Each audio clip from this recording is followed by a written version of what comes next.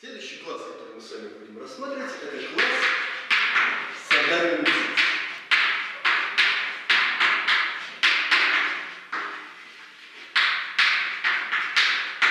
который также называется пираномицет.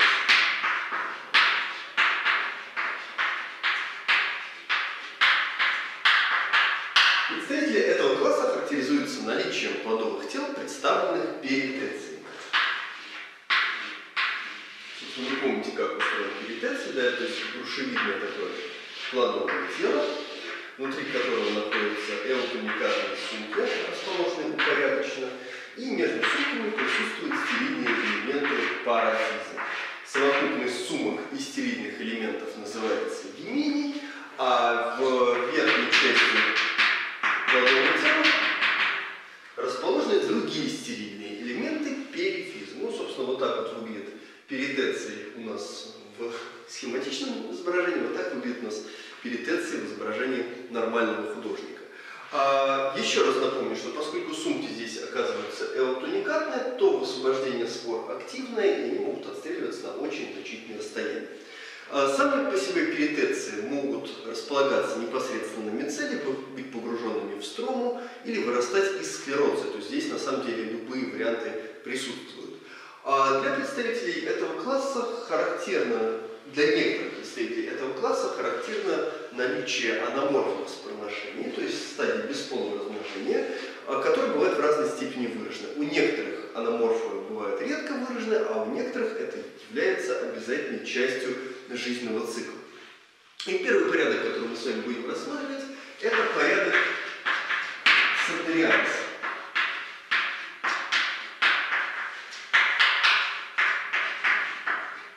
Представители порядка Сардериалис характеризуются наличием типичных перитециев, формирующихся непосредственно э, на мицеле. Кондиальные стадии, они, наверное, присутствуют у представителей этого порядка, но очень важной роли в жизненном цикле не играют, то есть гриб, в общем-то, э, прекрасно обходится наличием просто обыкновенных перитеций. И мы будем рассматривать представителей порядка Сардериалис на примере рода Сардария.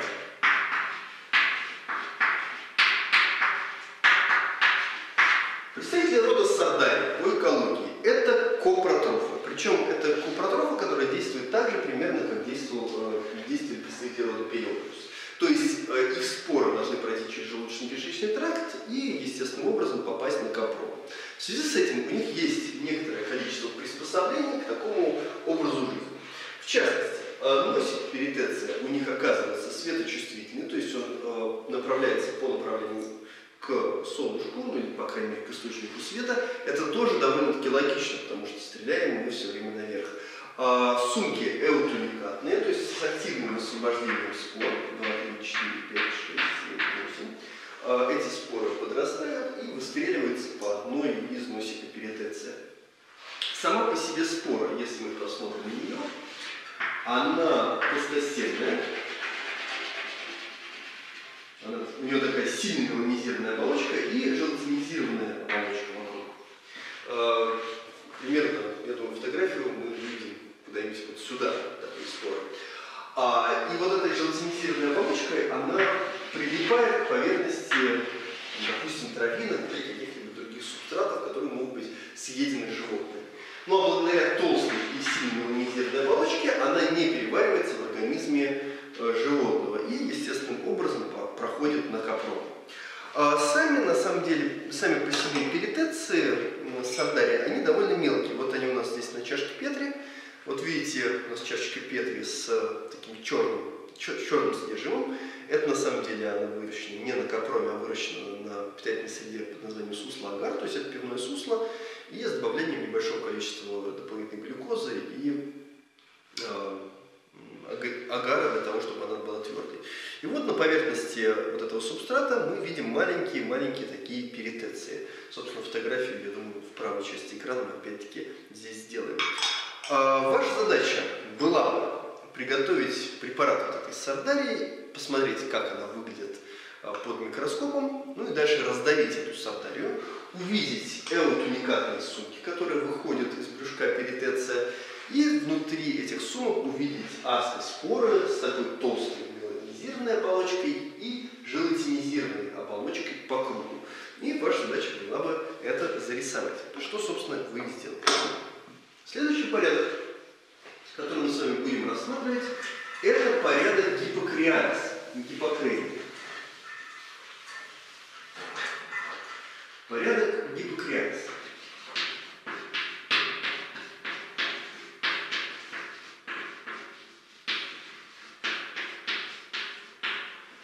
Представители этого порядка характеризуются наличием перитециев, которые развиваются внутри строма. То есть перитеции у представителей порядка гипокриалис погружены в такую рыхлую массу из мицелия. Даже по большому счету они собственной оболочки не имеют. Вот. И если мы такую строму порежем, то мы увидим внутри аскоспор. Вернее, мы увидим сумки, а внутри сумок будет аскоспора. Причем сами по себе аскоспоры, они тоже очень примечательны. Если мы посмотрим э, аскоспору, то она такая вытянутая, именно аскоспору, не сумка, именно сама спора. Спора она вытянутая и септированная, разделенная перегородочками. Когда эта спора отстреливается, она попадает куда-нибудь на субстрат, и она разваливается по вот этим перегородочкам, то есть получается как такая своеобразная кассетная бомба. А, кроме того, для представителей порядка гипокриалис характерно чередование половых и бесполых стадий. Это тоже для них чрезвычайно важно. Ну и по экологии. Это паразиты, причем это могут быть паразиты животных и паразиты растений. А в качестве примера паразитического представителя порядка гипокриалис мы будем с вами рассматривать вид клавицепс пурпуры.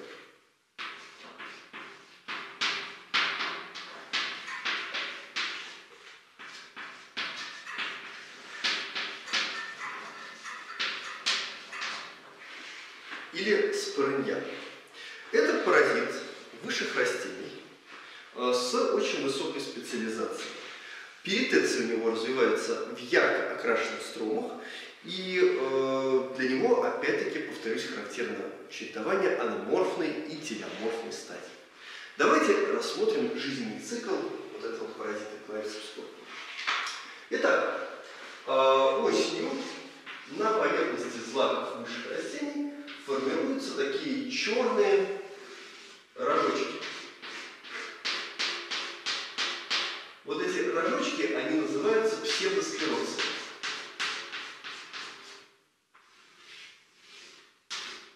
Ну, причем они могут формироваться не, не вместо всех семян, да, а вместо нескольких буквально семечек. Вопрос, где произошло заражение. Собственно, э, вот у нас с вами гербарий, я думаю, увеличенный, его тоже с вами предпознал. А, дальше зимой эти рожки лежат просто на почве, а весной они прорастают такой структурой, которая называется головчатая строма.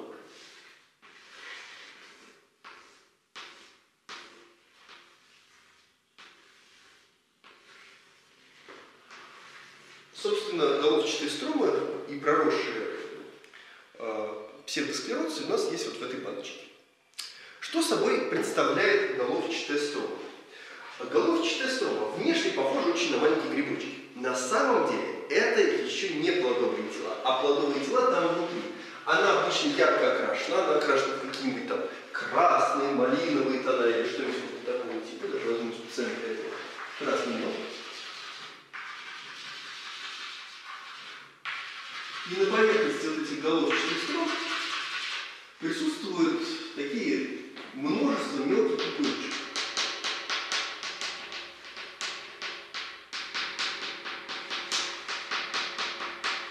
Как в изображении неизвестного художника, который у нас появится с левой стороны. А если мы порежем вот эту головчатую строму, то мы увидим с вами, что эта головчатая строма состоит из вот таких вот, по сути, плодовых тел, погруженных в рыхлое сплетение гибриба. Вот это вот, собственно, мицелий гриба, строма, да.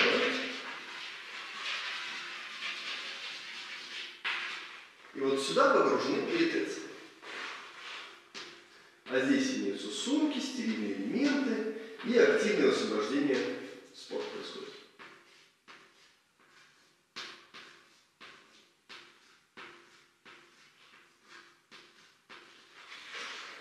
Аскоспоры активно отстреливаются. Не забывайте, что каждая спора, она такая длинная, линейная и септивная. И эта аскоспора должна попасть на рыльце пестика злака. А когда она попадает на рыльце пестика злака, то она прорастает, и в течение всего лета гриб размножается бесполым путем. Его бесполая стадия сфацелия. Давайте напишем на знак. А дальше лето.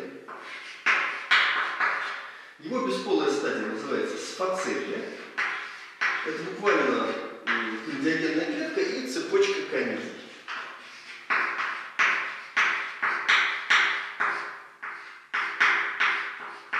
Сфацелия. Другое название сфацелия – это медвяная роса. Гриб выделяет маленькую сладкую капельку, на эту капельку прилетают другие насекомые, садятся, пачкаются в конидиях и разносят его по всему, э, по всему полю. То есть происходит такое массовое перезаражение. Далее, когда наступает осень, вместо семян на зараженных злаках формируются вот такие вот псевдосклероции. То есть гриб уходит в покоящуюся стадию и переживает зиму. Почему эта структура называется псевдосклерозом? В принципе, ее можно назвать и обыкновенным склерозом, единственное что. А, дело в том, что вот в обычном склерозе по определению это плотное сплетение гиф гриба, служащее для перенесения неприятных условий. В данном случае это сплетение гиф гриба плюс ткани высшего растения, поэтому некоторые авторы называют эти структуры псевдосклерозом.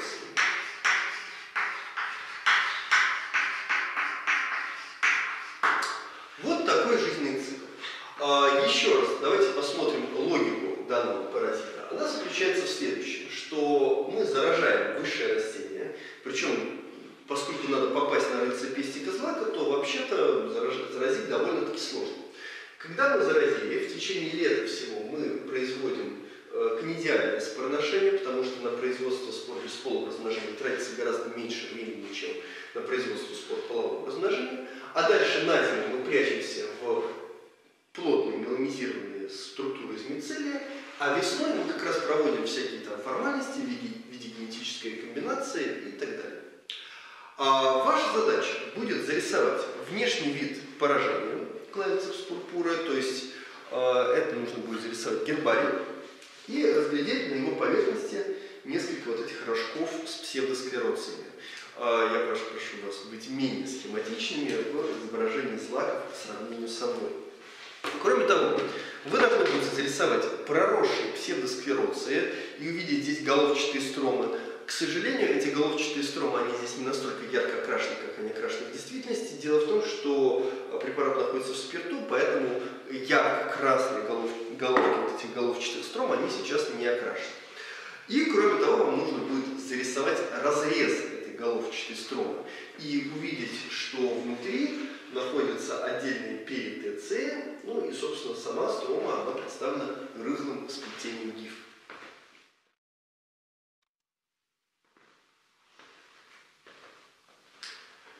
Чем же так опасно спрыгивать? Вроде кажется, ну подумаешь, у нас есть несколько семян, которые повреждены вот этими псевдосклерозами. Ничего страшного, ну, чуть-чуть меньше у нас получится урожай. В принципе, да, но есть одно но. Дело в том, что вот эти псевдосклероцы, они содержат довольно большое количество разнообразных алкалоидов, которые могут вызывать очень серьезные проблемы у человека. А, употребление в пищу большого количества вот этих рожков приводит к возникновению заболевания, которое называется эрготизм. Или Антониев огонь. Был даже в свое время орден святого Антония, который занимался исцелением страждущих больных эрготизмом. А, у него бывает две формы. Бывает гангренозная форма, когда прекращается кровоснабжение дистальных частей тела, и человек, в общем, довольно быстро развивается гангрена, конечности становятся черными, как такие головешки. Ну, собственно, поэтому и э, название огонь, да, как будто опаленные части тела. А другой, другая клиническая картина, это когда э, нарушается работа центральной нервной системы, человеку приходят какие-нибудь разные галлюцинации и так далее и тому подобное. А, в принципе, отравление в клавицепс пурпуры носит фактически характер таких эпидемий, причем при которых люди фактически сходят с ума. А, интересно, что обнаружили связь между заболеванием эрготизмом и, а, собственно, воздействием клавицепс пурпуры только где-то в середине 19 века. Но до середины 20 века встречались массовые эпидемии. На самом деле они тоже сейчас встречаются, ну так, в очень незначительных количествах. А последняя крупная эпидемия произошла во Франции, в французском городке Пон-Сен-Эспри в середине 50-х годов. И если хотите, я могу описать, привести описание этой эпидемии, которая была указана в различных французских газетах. Ну, это займет цитаты некоторое время, поэтому, если не интересно, то промотайте где-то минут на пять. Итак, вечером мадам Мулен хотела накормить оставшимся суженным хлебом собаку, кошку и уток, как она делала всегда. Однако собака понюхала бульон с покрошенным хлебом и отошла. Никогда раньше пес не отказывался от еды.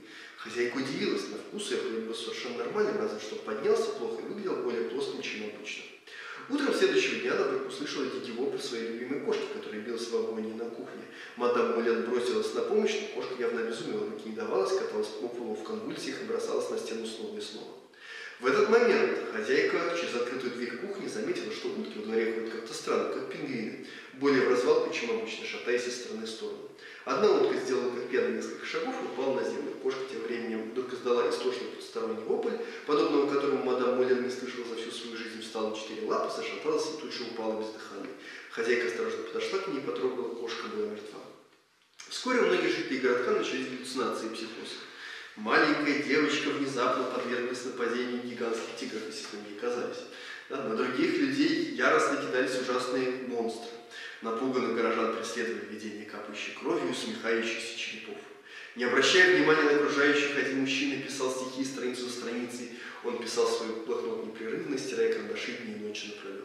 Другой громким голосом пересчитывал оконные стекла в спальне.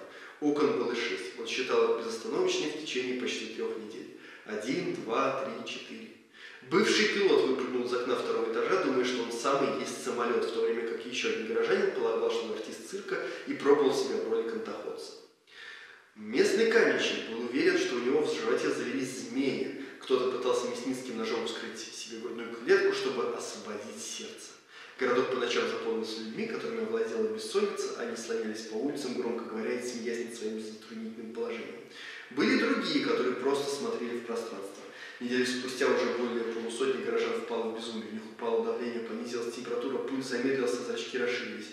У одних развелась истерика, другие обладали дикой, почти неемной энергией. У третьих начались галлюцинации, иногда даже приятные. Они видели яркие цветы, растущие прямо на руках и ногах, и испытывали ощущение блаженного мира. Некоторым казалось, что на них набрасываются жуткие чудища, а с неба сыплются огненные шары. Вокруг их рук вьются змеи, языки пламени. Воспринимаемые цвета стали неестественно яркими. Жители срывали с себя одежду, носились по улицам нагишом, забивались под кровати, еще спасение от огненных шаров и дико махали руками, забившись в угол комнаты, отгоняя от себя диких зверей, сонных огромных голов, готовых разорвать их на куски в любую секунду. Врачи справиться с ситуацией не смогли, в город были вызваны санитарные машины и жандармы, доставили на рубашки. Трупы кошек и собак и домашних птиц были отправлены на обследование в Марсель. Обезумевшие люди легко в руки санитарам не давались, проявляя сверхчеловеческую силу. Полиция ловила их сетями, используемыми для отлова бродящих собак. Человек-самолет, который выпрыгнул из окна второго этажа больницы и сломал при этом себе две ноги, э, все равно вскочил и пробежал 50 метров, прежде чем его настигли. Справиться с ним смогли только несколько санитаров, другой человек разорвал одну за другой смирительных, семь смирительных рубашек, прежде чем его наконец удалось обездвижить привязав кровать толстыми кожаными ремнями и надев две смирительные рубашки. А, никакие лекарства не помогали. У одной пациентки тем временем начала развиваться гангрена пальцев рук и ног, а у других происходили припадки, схожие с эпилептическими. Многие люди приходили от гиперактивности до глубокой депрессии в течение нескольких минут. Затем обратно от спокойствия до дикого безумия. В пик эпидемии насчитывалось около 300 человек, страдающих от различных психических проблем, от легкого дискомфорта до сумасшествия. А затем они начали умирать. В ту ночь, когда первый человек умер в конвульсии, двое мужчин бросились бежать по улице, крича, что их преследуют враги. А маленький мальчик пытался душить свою мать. Это не сценарий фильмов ужасов, так марсельские газеты а, отражали загадочную эпидемию августа 1951 года в небольшом французском городке Пон-Сен-Эспри.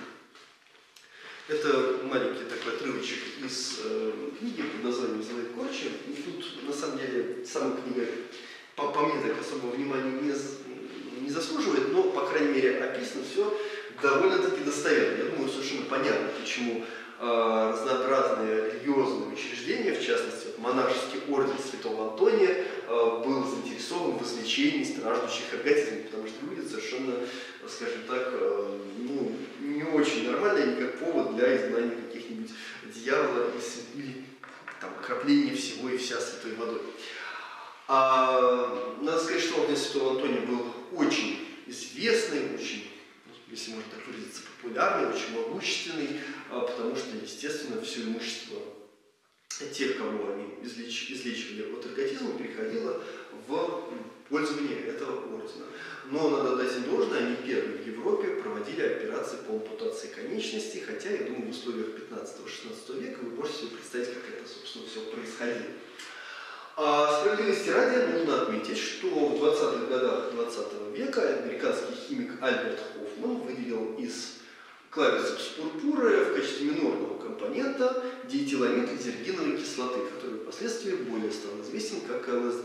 Но следует учитывать, что, естественно, ничего подобного применению ЛСД вы не получите, а, если вы попытаетесь пожевать э, псевдосклероции, потому что диэтиламид изергиновой кислоты там находится в, как минорный компонент. А, интересный факт, что на Руси, собственно, вот эти рожки э, псевдосклероция, клавицепс пурпура, использовались как э, при родовспоможении. Роженицам давали несколько таких рожков проживать для того, чтобы происходило расслабление гладкой мускулатуры. А, ваша задача будет, еще разочек, зарисовать псевдосклероции на пшенице, проросшие псевдосклероции с головчатыми стромами и разрез головчатой стромы. А, есть еще один объект из порядка гипокриалис, который, к сожалению, не входит в программу малого практикума, поэтому, опять-таки, если вы хотите, вы можете промотать еще где-то примерно 5 минут нашей лекции. Это такой род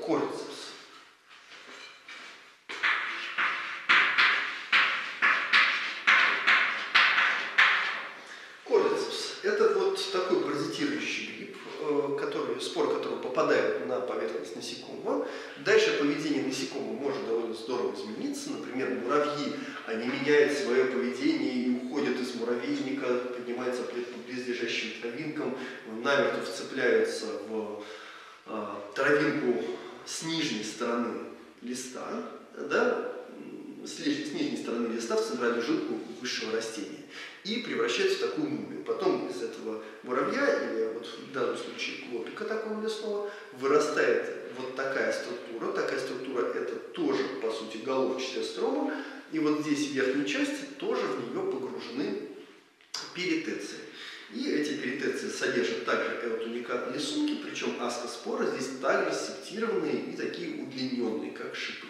Э, эти аскоспоры они отстреливаются и попадают на поверхность следующего насекомого, так происходит заражение.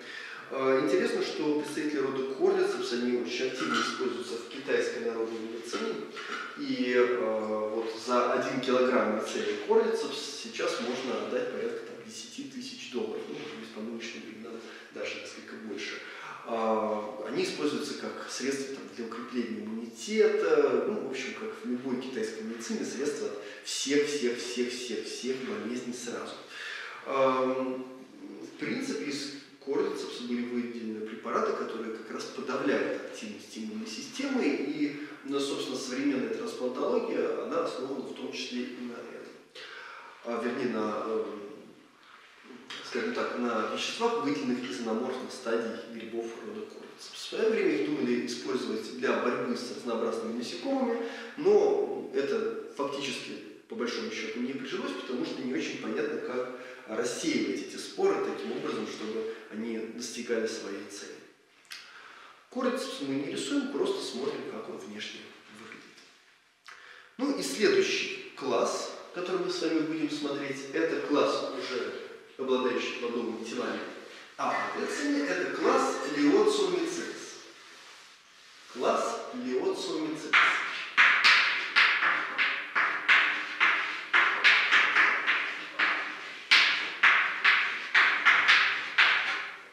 Для представителей класса Леоцумицетас характерно наличие плодовых тел, представленных апотециями. То есть, апотеция – это полностью открытое глюцилидное плодовое тело. Сумки здесь у нас оказываются эукимикантные. Расположены они упорядоченно. И между сумками находятся стерильные элементы парафиза. Совокупной суммой стерильных элементов называется гемений, а под сумками может располагаться снизу субгемений. Это как такое более плотное сплетение мицелия. На самом деле, строение апотеция мы с вами чуть-чуть позже посмотрим. Единственное отличие, чрезвычайно важное представителей класса леоциумицета, заключается в том, что сумки у них вскрываются иноперкулярно. То есть сумка, когда вскрывается, например, 4, 5, 6, 7, 8, она вскрывается щелью, а не крышечкой. Это как раз и есть особенности класса, особенность класса леоциумицета. Ну и в качестве основных примеров мы с вами посмотрим род склеротин. Извините, порядок Трилоциалис.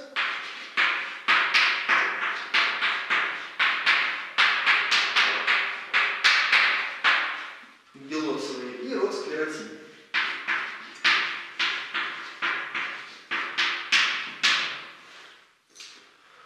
Наверняка у всех вас дома есть такой, такое прекрасное изобретение рубежа 19 начала 20 века, которое называется холодильник. Наверняка в этом холодильнике у вас есть морковка. Возможно, даже у вас лежит где-нибудь там полиэтиленовые пакетики. Вот если вы достаточно забывчивый человек, например, как я, то у вас морковка может некоторое время заваляться в этом холодильнике и там некоторое время лежать, ну, допустим, пару месяцев. Через пару месяцев на поверхности некоторых морковок вы увидите вот такой вот белый налет, вот такой вот белый пушочек. А, этот пушочек как раз и будет мицелий некротрофного паразита из рода склеротимия. Склеротимия склеротиола.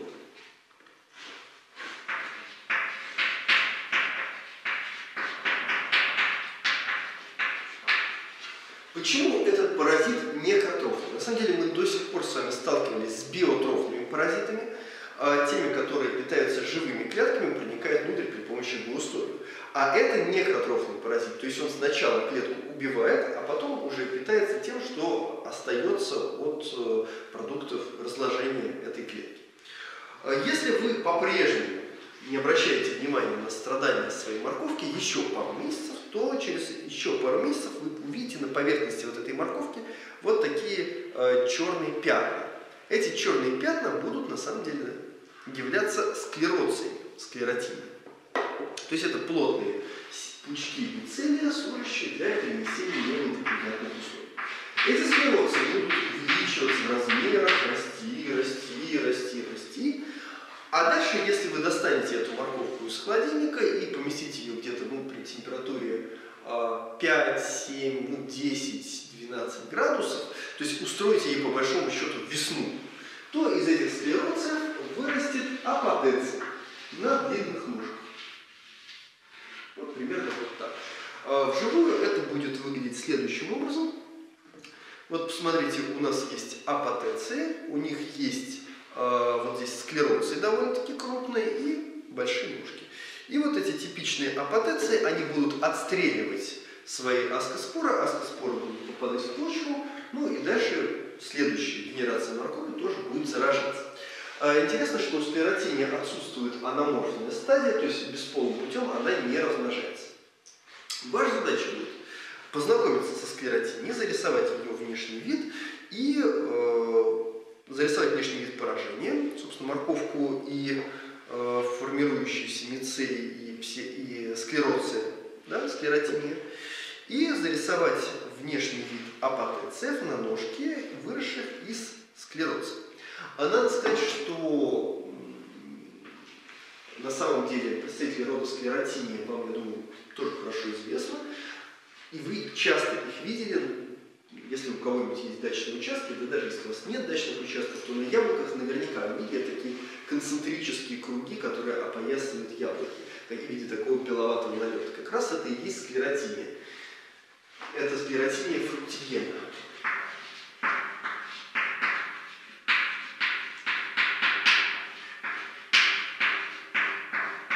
Собственно, поэтому необходимо падалицу собирать и убирать э, на зиму для того, чтобы на вот этих упавших яблоках не формировались апотеции, которые опять-таки сформируют споры, и эти споры опять-таки рассеют э, по ближайшему яблоневому саду. Следующий порядок, который мы с вами будем рассматривать, это порядок эризифалис.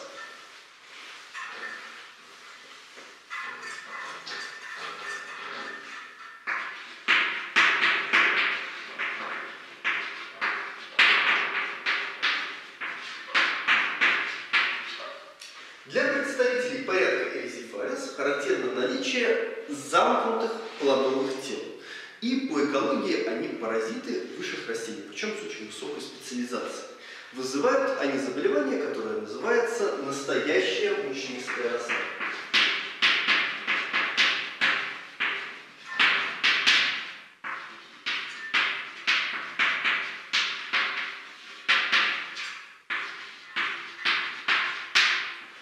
А, симптомы настоящей мучнистой росы заключаются в том, что э, белый налет образуется как с верхней стороны листа, так и с нижней стороны листа. Мы с вами ложно-мучнисто-росяные грибы на первом э, грибном занятии. И вы помните, что у ложно-мучнисто-росяных грибов белый налет образуется только с нижней стороны листа, и он образован э, спорангеносцами, которые высовываются из устиц на нижней стороне. Соответственно, это орган расселения, поэтому мы свешиваем вниз споранги, зооспоранги, зооспоранги отлетает и переносится на новое место.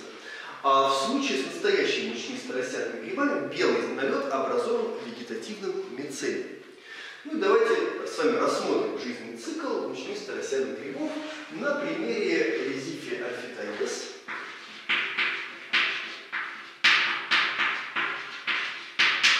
Или раньше этот род назывался микросфера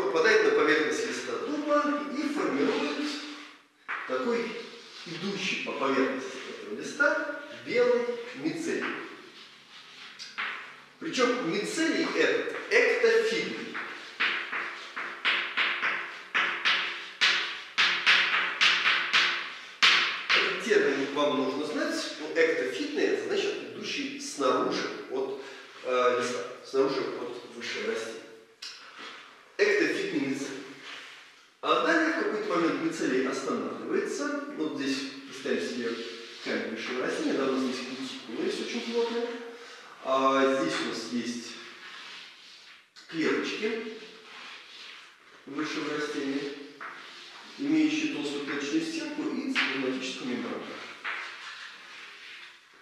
Представь, что он не очень плотно воспринимает. А далее, когда мицелий останавливается, он формирует такую структуру, которая называется апрессион. В этом апрессоре увеличивается давление, он как бы пробивает кутикулу насквозь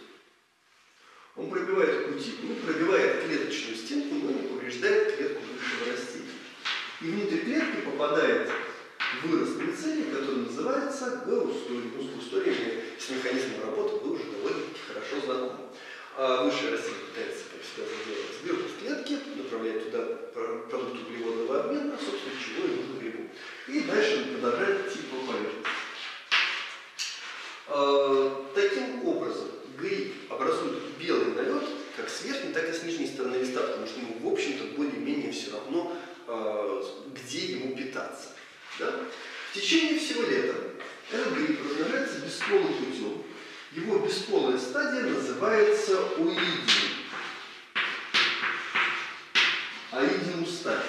По сути, это канидиогенная клетка и цепочка канид,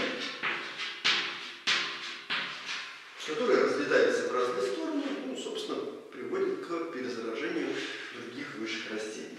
А напомню, микросфера или резитель фитоидес – это паразит дуба. Соответственно, если это все дело попало на нижние листики, на нижние самые молодые листики, постепенно, постепенно, постепенно это все дело идет вверх к кроне высшего растения. А дальше осенью,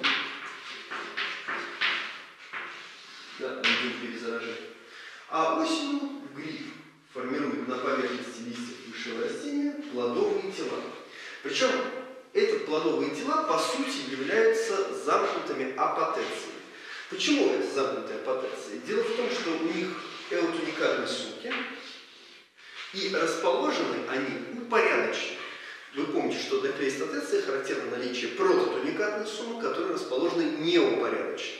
А здесь эутуникатные сумки расположены неупорядоченно. Ну, не важно, что в данном случае оболочка э, плодового тела она Эти плодовые тела имеют по бокам еще очень своеобразные придатки, я думаю, которые гораздо лучше изображены в исполнении э, более хорошего художника, правда, нам неизвестного. Вот. И эти плановые тела, они могут переживать неблагоприятные условия и дожидаться весны. А весной из этого плодового тела отстреливается аскоспора, которая опять должна попасть на поверхность листьев высшего растения. Вот так, собственно, и осуществляется перезаражение э, мучнисто-росяными грибами. Обратите внимание, что жизненный цикл и логика паразита здесь очень близка к э, логике клавицепс пурпура спорами. То есть э, формирование плодовых тел и всякая там рекомбинации и так далее и тому подобное происходит осенью, ну, либо зимой. Да, это фактически покоящаяся стадия. А летом быстрое перезаражение хозяина при помощи стадии бесполого размножения. Ну, в данном случае эта стадия называется аидиум. Мы с вами должны посмотреть э, мучнисто-росяных грибов на примере нескольких представителей. Во-первых, это элизикаль фитоидес. Э, нужно изготовить препарат, капли воды на предметное стекло. Я тебе покажу, как это делается.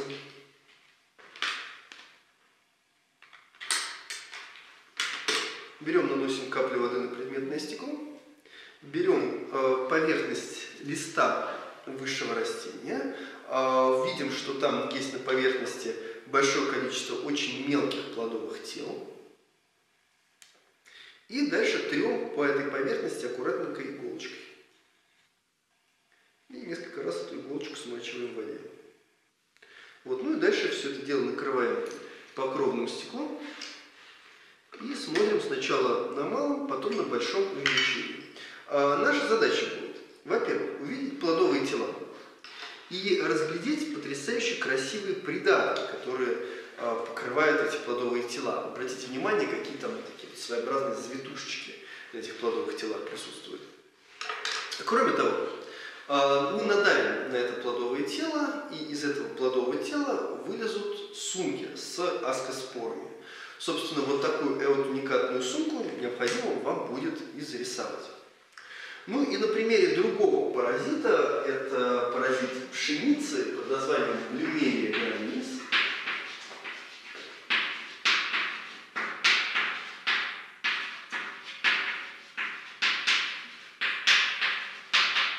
Мы с вами посмотрим бесполую стадию. А вы помните, бесполая стадия аноморфного проношения у мужчин старосинных называется аидиум. То есть аидиум стадия люмерии гранис.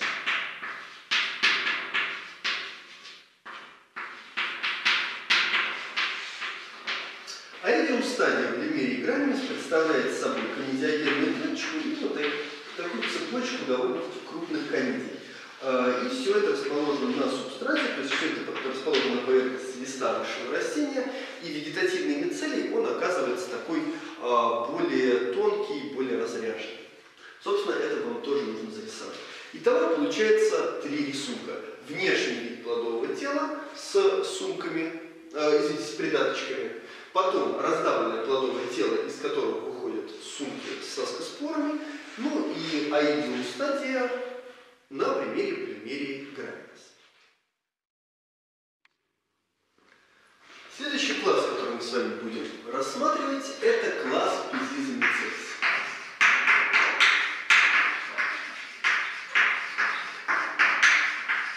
Для представителей класса пизизомицетес характерно наличие АПТЦ, причем сумки у них оперкулярные, то есть скрываются крышечкой.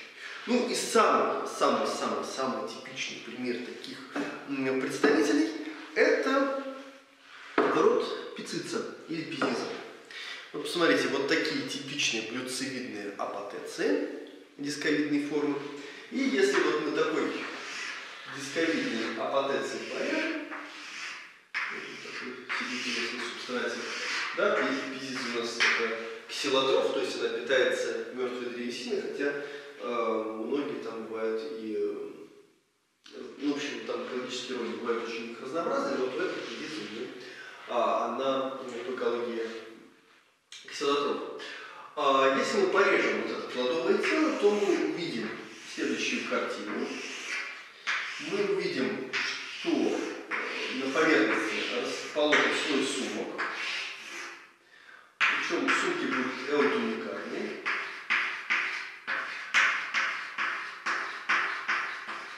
Между сумками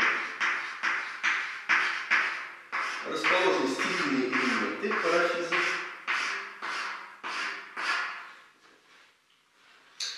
И высвобождение спор происходит активно. Причем интересно, что у пизизы у нее споры созревают все более-менее синхронно. И если у вас летом где-нибудь найдете вот такое блюдцевидное плодовое тело, то можете провести такой эксперимент, а, взять аккуратненько, сорвать его, и на ладошке и дунуть на вот так вот так сделать. А спустя буквально 2-3 секунды поверхность э, сумок подсохнет, и она, они отстрелят несколько аскоспор. То есть они на самом деле отстреливают не все сразу аскоспоры, а по несколько штучек. И в результате пелиза выдаст вам такое небольшое облачко из спор наружу. Это на самом деле очень красиво, особенно если вот такой косой падающий свет. А, таким образом, ваша задача будет зарисовать внешний визы и зарисовать разрез плодового тела, указав сумки и стерильные элементы. Интересно, что под гимением, помните, это совокупность сумок и стерильных элементов, располагается субгимений, это более плотный, плотный сплетения гиприма, вот, а дальше субгимений.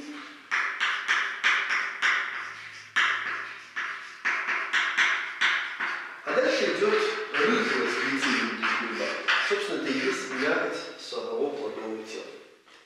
Но э, представители этой группы, они очень-очень-очень разнообразны морфологически, и, естественно, им захотелось как-то увеличить свою продуктивность, и что-нибудь такое сделать, чтобы лучше рассеивать споры и делать их больше.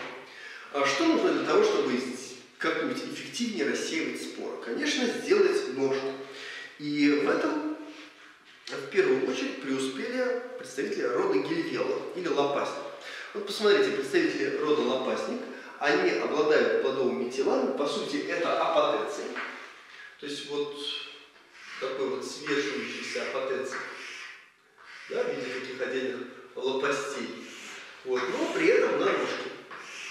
Ножка у такая вся морщинистая. Для чего это нужно? Если мы приподнимаем плодовое тело, споры будут куда-нибудь дальше летать, ну и, соответственно, этот гриб будет лучше размножаться. Таким образом, гель ну, на самом деле аскомицеты пошли дальше. А дальше они пошли по пути увеличения площади поверхности гемения, ну, что довольно-таки чем больше площадь поверхности, тем больше мы можем разместить там сумму стерильных элементов. А, например, род гераметра, что такое род гераметра? Род гераметра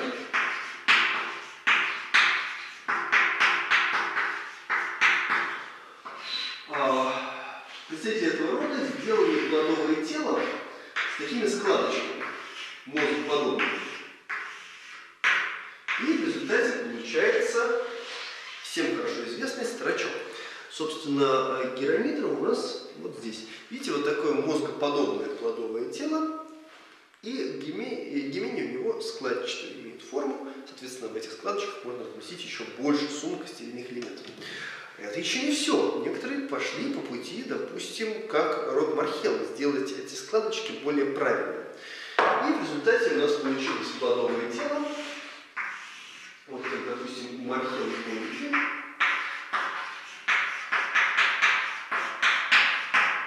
Оно вот такой конической формы и вот такие углубления правильно расположены.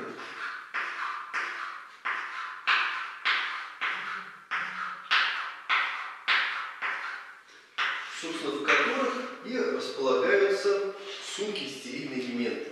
А при помощи вот таких углублений, опять-таки, увеличивается площадь поверхности. Ну, и есть другой представитель, это верх богемика, так называемая сморчковая шапочка, она очень похожа а, на сморчок, а, но отличается тем, что у нее вот этот вот апотеций, он не прирастает внутри плодового тела. То есть, если мы его порежем, то вот здесь этот апотеций, он оказывается именно как такая вот э, развивающаяся юбочка в разные стороны. Ну, кроме того, у нее бороздочки вот эти на поверхности, они не видят таких вот ячеечек отдельных, а они видят таких продольных складочек. Это будет верх богинника.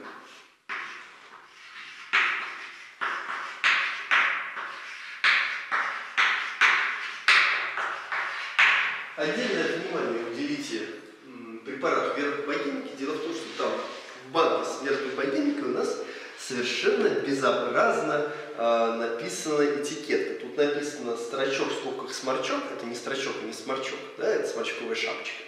А, а дальше написано вепра богемика. Это не вепра, а верпа богемика.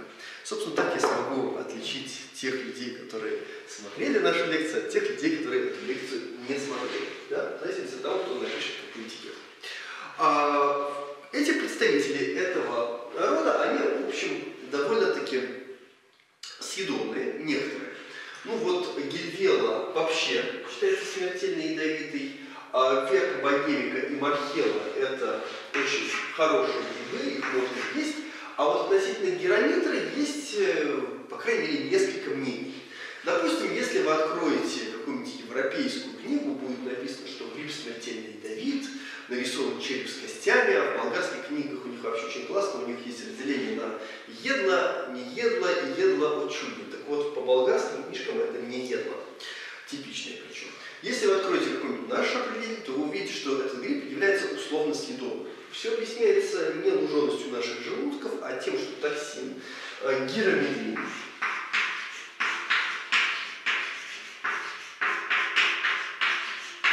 который по природе является олигопептидом, у героинскумента накапливается в очень небольших количествах.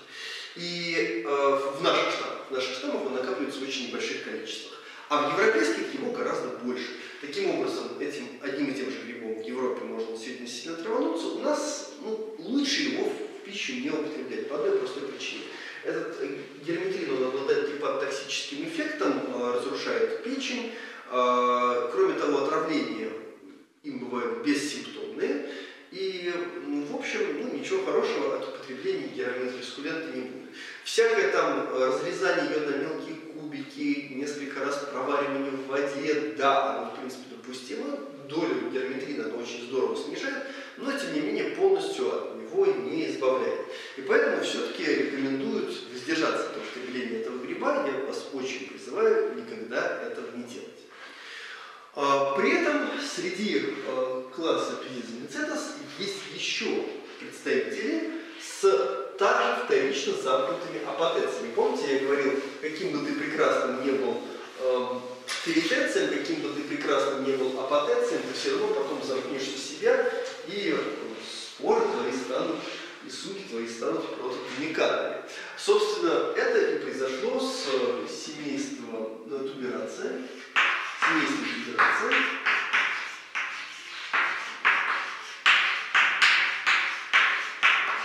или трюфели. А представители трюфелей – это действительно обыкновенные апотеции, причем в процессе развития эти апотеции, они выглядят ну, совершенно так же, как молодой зреющий апотекс. То есть закладывается вот такая вот такой блюдечко. Давайте я красным цветом отмечу э, то, где находится блюдо. Вот. Потом это блюдечко начинает немножко деформироваться. У него появляются вот такие вот выросты. Вот, и гемель получается у нас уже в виде складочек. А потом это блюдечко все целиком замыкается. Если мы, ну, получается такая, по сути, картофель. Вот если картофель мы с вами разрежем, то мы увидим, что гемель и вот таких вот неправильных хаотичных складочек. Вот такие складочки внутри плодовых тел трюфелей называются венулы.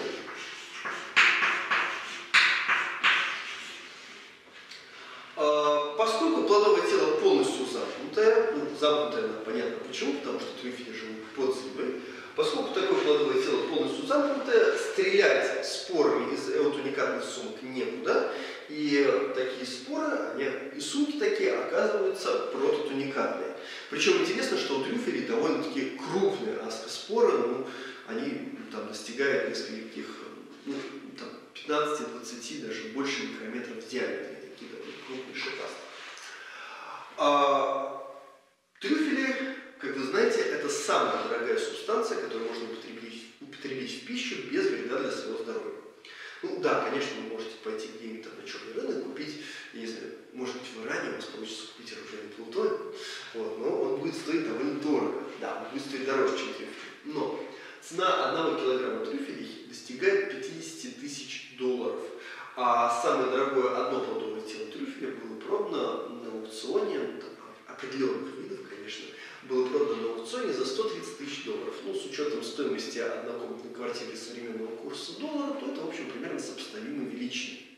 А, естественно, такие вот грибы, которые стоят как однокомнатная квартира в Москве, где-нибудь там в Южном Бутово или где-нибудь, может, подальше, да, а, такие грибы, естественно, никто не жарит там с картошечкой, да, а, их, естественно, используют для приготовления различных соусов, так называемого трюфелевого масла, это когда плодовое тело заливается каким-нибудь, там, допустим, оливковым маслом или там, кедровым маслом, и плодовое тело экстрагирует в себя, из себя различные эти ароматические вещества, а дальше этим, этим маслом заправляет разнообразные салаты, они приобретают вкус трюфеля. Почему эти плодовые тела, они имеют такой вот насыщенный, яркий грибной вкус? Ну, мы пробовали, кстати, их есть в свое время, мы пробовали консервированные трюфели, да, они были в каком-то дополнительном соусе, ну, по вкусу, в общем, ничего такого. Ну, мы, конечно, взяли вот такой трюфель, разрезали его на 12 студентов, съели. Эм, в общем-то, ничего такого, но, видимо, там есть какие-то вещества, которые заставляют выделяться слюне, там, активирует процесс пищеварения, потому что мы стояли такие, ну, ну как, кушно, кушно, кушно, кушно, и все э, истекающие нас э, слюной. А, то есть действительно, в общем, способствует пищеварению. Почему же эти грибы такие вкусные? Почему же они имеют такой насыщенный вкус, аромат? Дело в том, что плодовые тела находятся под землей. Соответственно, их основная задача заключается в том, чтобы это плодовое тело выкопали и съели, причем выкопали и съели его даже из-под земли. Это обеспечивается тем, э, что вот эти плодовые тела, помимо и аромата, они еще образуют летучие метаболиты, которые по своей природе схожи с летучими метаболитами свиней и собак. Именно поэтому свиньи и собаки лучше всего ищут трюфели. Ну и, соответственно, дальше ваша задача как можно быстрее отобрать у животного это плодовое тело, чтобы он его не съел, либо выдрессировать его следующим образом, соответствующим образом. А, в принципе, почему же трюфели такие дорогие? Ну, при... мы же, собственно, не учились выращивать грибы, вот вешники, шампиньоны, ну, мы про них еще будем дальше говорить на следующих занятиях, и же выращивали, почему не выращиваем трюфели? Все довольно-таки просто. Дело в том, что вешники и шампиньоны не являются грибами микоризообразователя. А трюфели, они облигатные микоризообразователи. Причем те виды, которые больше всего ценятся, допустим, туберстин,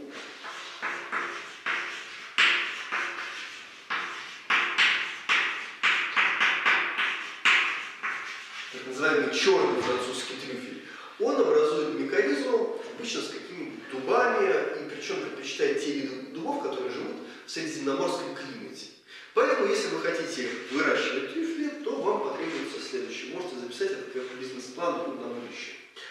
А вам нужно будет купить довольно большой кусок земли где-нибудь э, на южном берегу Франции, между Монако и Ниццей, Каннами, ну, где-нибудь вот примерно вот так. Ну, озеро Кома, в общем, тоже подходит. А когда вы купите себе такой большой кусочек земли, вы должны будете там высадить э, саженцы дуба, причем определенных видов дубов, и э, вот когда вы сажаете дуб, вы кидаете туда небольшие кусочки трюфеля, ну, которые содержат, соответственно, вот эти аскоспоры. Э, саженцы дуба постепенно вырастают, и вам нужно подождать, пока гриб образует микоризу с этим дубом. Ну, ждать вам придется некоторое время, это примерно займет лет 30-40. Дальше вы уже ходите по изрядно подросшей вашей дубовой рощице, гуляете там, собираете вместе с дрессированной собачкой трюфели еще где-то примерно лет 30-40.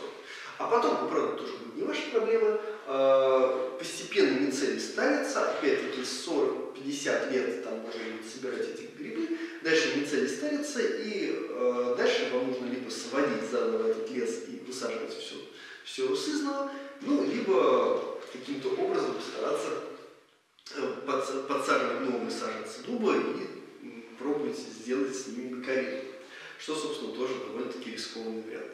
Так что, видите, действительно, для того, чтобы вырастить трюфель, необходимо потратить очень-очень-очень много э, сил и времени. Ваша задача будет зарисовать э, трюфель, причем у нас внешний вид трюфеля я попытался вам отснять, вот они у нас есть в банках, да, видите, выглядят они как такие плотные картофельные.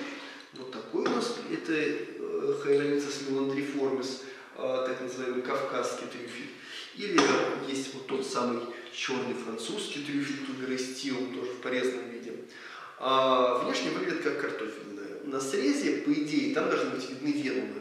К сожалению, на наших препаратах эти венумы уже видны довольно плохо, поэтому я прикреплю вам фотографию свежего срезанного трюфеля из интернета. Ну, единственный препарат, который вам придется зарисовать не с натуры.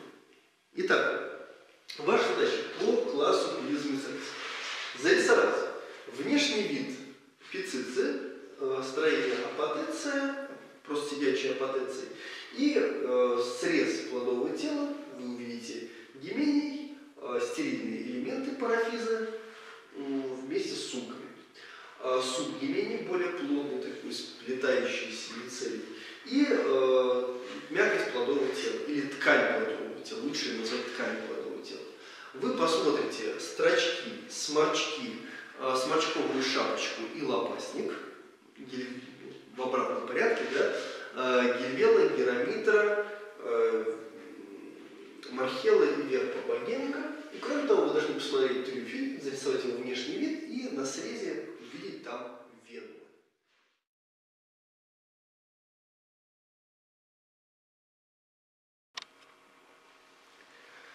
Итак, э, перед вами перитеция сардария.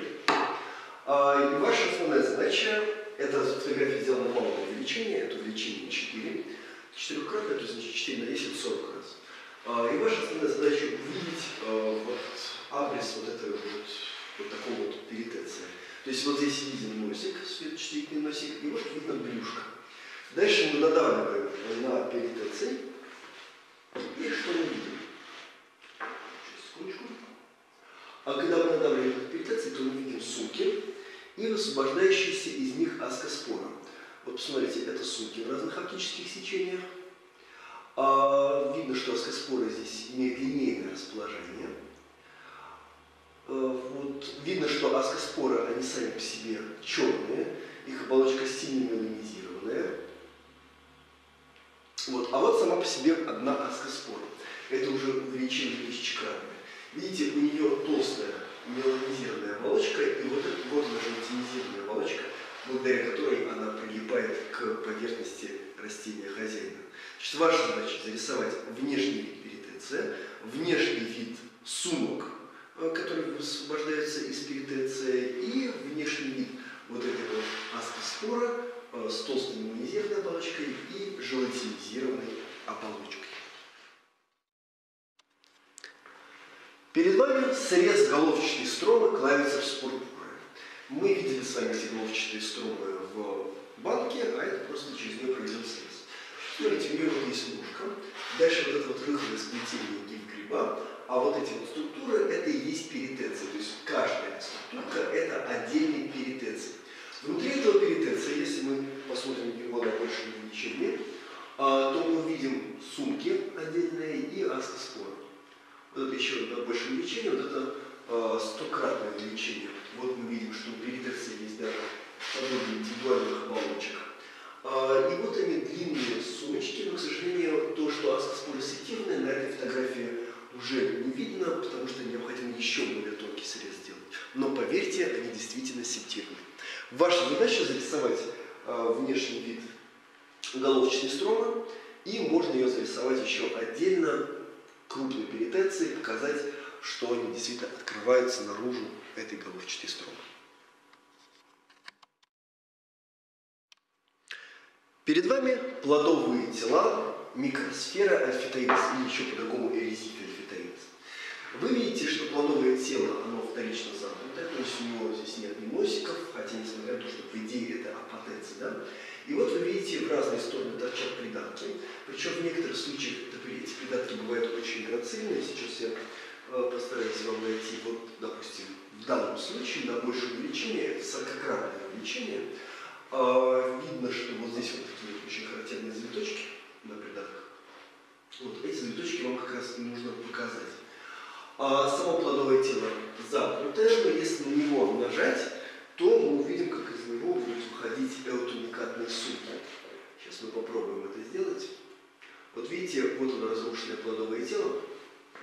И вот видите, из него выходят эутуникатные сумки. Причем, э, в отличие от сардария, у которой аскоспоры были расположены линейно, в данном случае аскоспоры располагаются не линейно, а хаотично. Видно, что у сумки очень толстая оболочка, Э, это опять-таки нужно для того, чтобы наращивать там осмотическое давление и активно освобождать эти споры. Вот. Ну и споры довольно-таки крупные, то есть они содержат большое количество питательных веществ. Ваша задача зарисовать внешний вид эм, вторично замкнутого апотеция с придатками, и кроме того, вам необходимо зарисовать сумки, высвобождающиеся из этого плодового тела.